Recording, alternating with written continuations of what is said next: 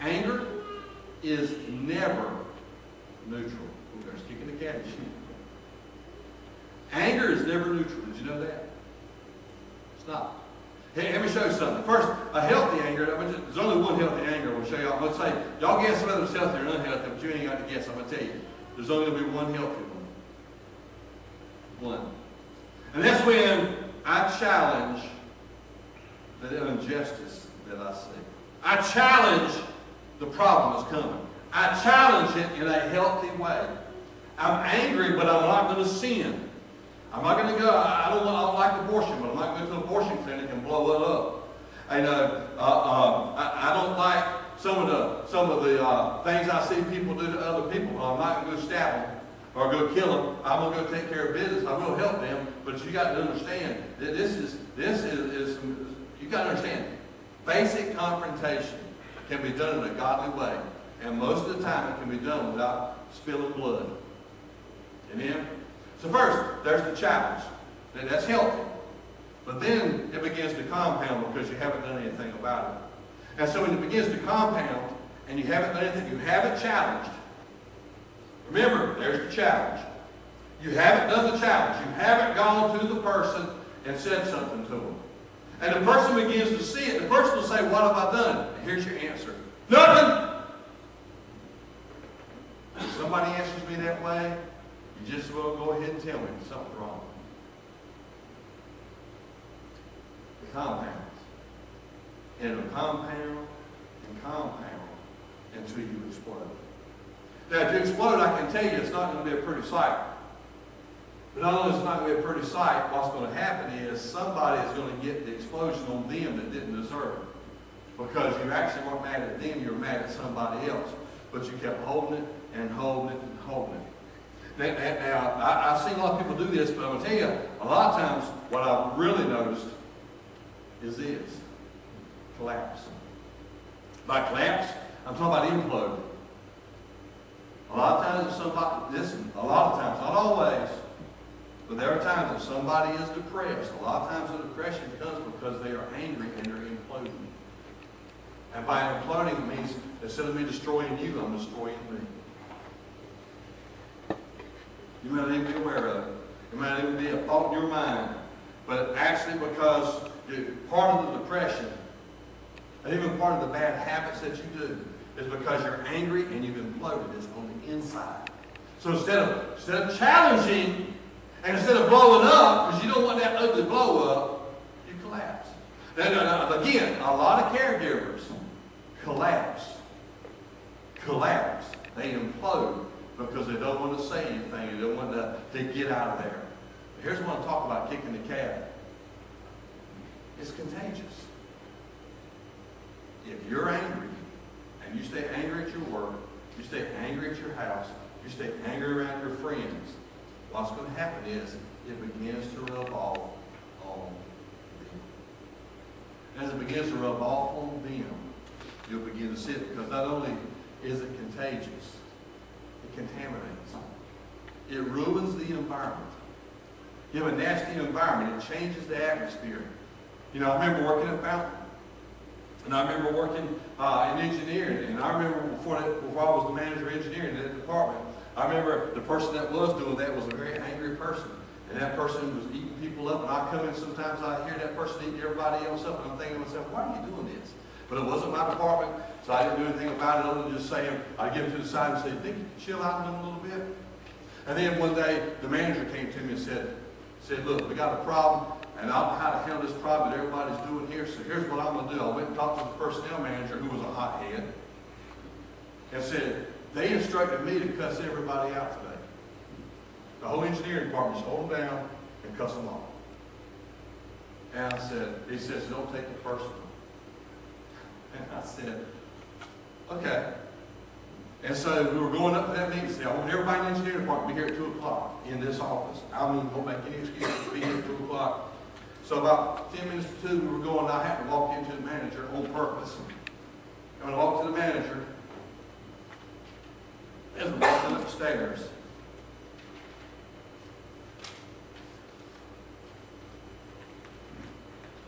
we're walking upstairs, and he says, don't take it personally. And I hand him a piece of paper.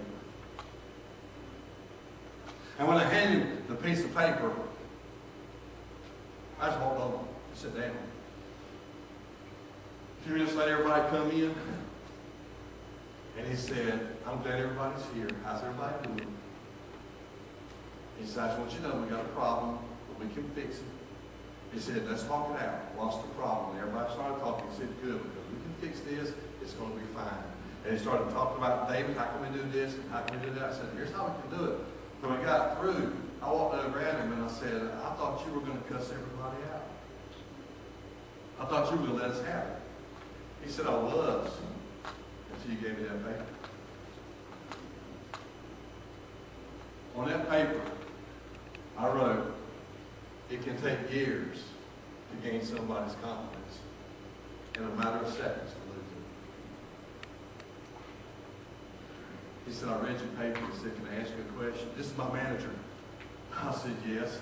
He said, how did I do it? I said, I'm proud of it. You see, anger negative. Here, here's a negative for anger. And, I won't have keep much longer, in fact, I'm going to first somebody say amen. Amen.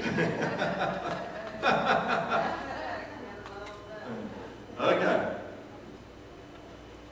Psalm 37 8. It says, refrain from anger and forsake wrath. Fret not yourself, it tends only to evil. I went ahead and wrote uh, the Holman Christian Standard version down here. Refrain from anger and give up your rage. Do not be agitated, it can only bring harm. It brings harm to you, and it brings harm to others. And so when you lose it, and I'm guilty too, I'm not up here talking, a look, look don't come pinning wings on me. I, got, I got a halo, but that halo's resting on a couple of horns, okay? Matter of fact, most of time my halo's hanging on one or the other. We're all people. We're all human. Every last one of us. And you can complain about somebody else being mad, and I can sit there and give you 10 minutes, you'll be doing the same thing like You were complaining about them. You know, I, I did talk to somebody not long ago, and I told them, I said, uh, I, I, I instructed them to go find a person on their job. I said, you can find this person. I said, if you want to know how to act, see them. And the person looked at me and got real big eyes and said, tell me about it. He said, I was mean to that person. And got meaner and meaner. He kept smiling. He said, one day I went to him and said, aren't you going to get mad? He said, I know. He said, so he got even meaner and madder. And the guy looked at him and said, I know what you need. And he walked over to him and he gave him a great big.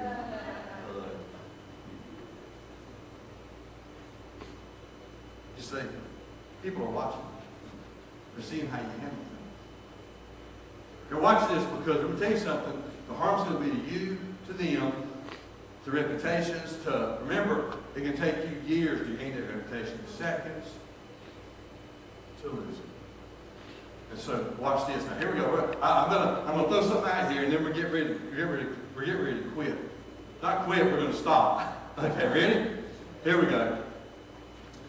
A man of wrath stirs up strife, and one given to anger causes much transgression. In other words, let me just do the message. Anger people stir up a lot of discord. Then temperate stir up trouble. Again, one angry person in a group of people can change the whole temperament of the whole atmosphere. One person can change the whole temperament of a church service. One person can change the whole temperament in a family. One person. And it doesn't have to be a constant thing. Just that one time, losing it, and staying for a while, camped out there can cause a problem. So watch this, watch this. Here, here, here's, here's what happens. Here's what happens when somebody that's talking about causes trouble, stirs up trouble, it causes discord. Uh, here, watch this. First, you get a loss of uh, confidence. You see, you start feeling insecure about your relationship with that person. You begin losing your insecurity, or you get insecure about your relationship with God, your ability to respond wisely to difficulties. So first, your confidence gets shaken. When all this stuff happens, if somebody comes in and blares you out, your confidence and or trust get shaken. And then the energy. You start lacking strength for your service to God and service to others. This is what's happening to you and others at the same time. Faith. Uh, failing to believe that God is working in your life. And freedom. Becoming a prisoner of your emotions. And you're unable to even serve God freely. Identity. You become, you're becoming like the person toward whom you were bitter rather than becoming like Christ. And everybody else is becoming like too. I remember that fountain. I tell the guys every morning we go to work, I, we went to work, I sit down and we would do a spiritual leadership lesson. If it was only for two minutes. And I tell everybody when you go out, I'm here to tell you, we're not about going out and, and, and making people angry.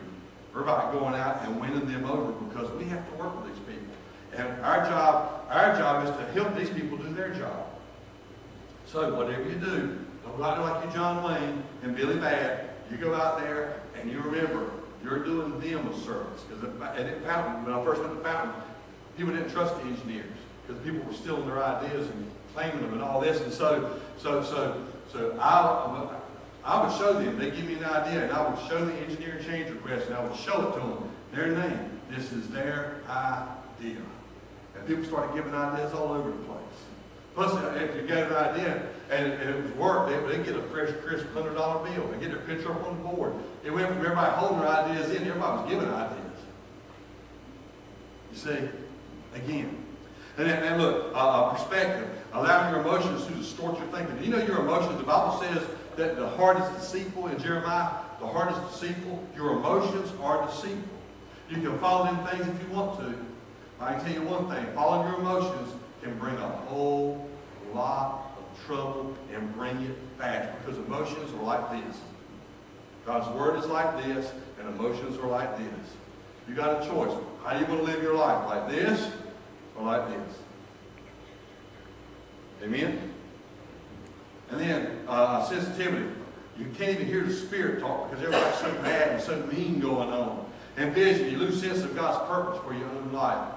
You know, uh, uh, I, I was going to tell you about this guy. I can't even pronounce his name. I think I'm pronouncing it right. And if y'all know who I'm talking about, please don't anybody blurt it out. Do not blurt this out. Arinthal James.